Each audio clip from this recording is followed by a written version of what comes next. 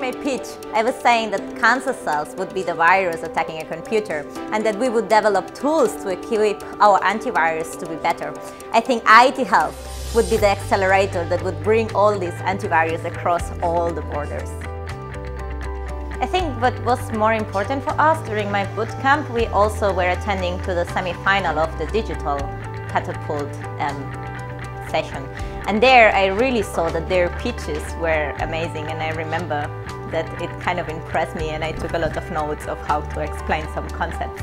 So um, I think it, it was useful to improve our pitch in some very clear and specific catchy words and well today I also think they did a great job but we were also improving then.